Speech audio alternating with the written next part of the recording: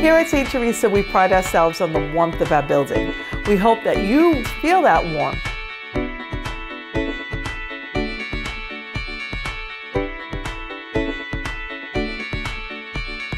Universal Pre-K has enabled us to have a higher enrollment. We've been able to uh, retain many of the students that have been in our pre-K program for kindergarten and first grade and so on. And it's been a wonderful experience here at St. Theresa School. Parents were willing to remain part of St. Theresa and make the initial investment of paying tuition to have their children in this wonderful environment. Today our pre-K celebrated their 100th day of school, so we have a lot of celebrations going on in our school building today. This year we will be offering a 3K program as well, uh, a program also funded by the City of New York, and the children will be able to come to St. Theresa free of charge and enjoy the environment of St. Theresa School.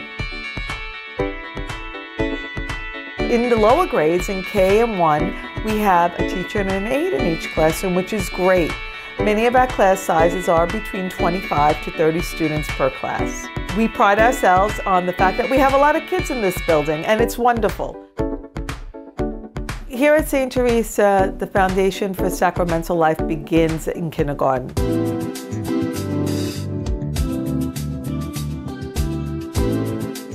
Our children in kindergarten begin religious instruction 45 minutes a day, Monday through Friday. Prior to COVID, our school community attended Mass on a monthly basis as a community.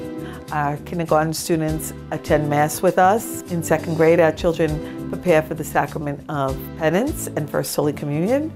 And then throughout the years, children have religious education daily, and they prepare for the sacrament of confirmation, which takes place in the seventh grade.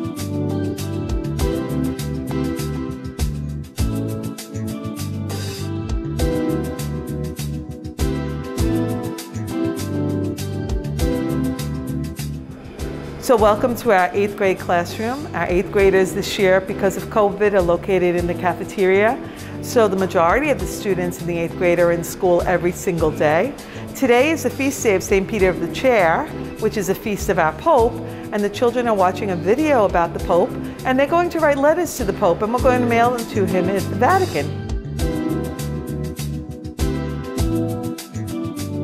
We are very fortunate here at St. Theresa to have a very active pastor. Father Deravan is our pastor, and he is always around the building. He's here in the morning to greet the students as they enter our school building. He's here throughout the school day to say hi to the children and speak to them. And he is instrumental in making sure that our sacramental program runs efficiently here at St. Theresa's.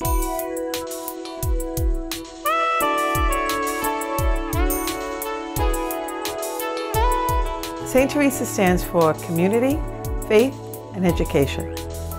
At St. Theresa School, we have a very active homeschool association. The parents help raise a lot of money for our school, which in turn is given right back to the students. The Homeschool Association helps facilitate a lot of programs within our school community.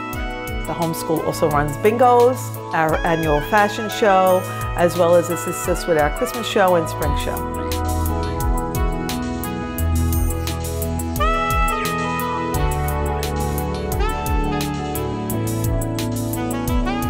We have a wonderful faculty. They're certified. They've been here for a long time. We've had very little turnover. My teachers don't look at the clock when they work. They give 110% of themselves to their students at all times.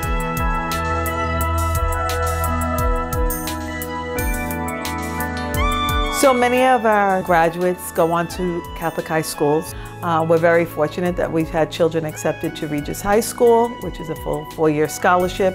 Um, we've also had children accepted to other schools in the area uh, on full scholarship. This year alone, we have our first full ride to Fordham Prep, which is a great achievement for our school community as well. I attribute the success of our students here at St. Theresa to our academic program as well as to our extracurricular activities that we provide for them.